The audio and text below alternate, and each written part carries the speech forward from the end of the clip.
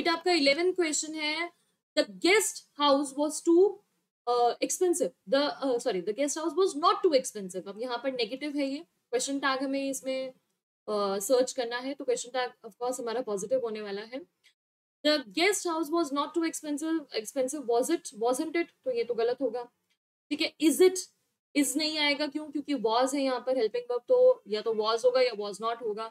ठीक है तो was it yes was it होगा आपका यहाँ पर मोर ऑफ़ यहाँ पे ये D is also not correct तो was it is the correct answer तो यहाँ पर नेगेटिव के साथ हमने पॉजिटिव जो है यहाँ पर एड ऑन कर दिया तो was it okay so C is the correct answer okay बेटा थैंक यू सो मच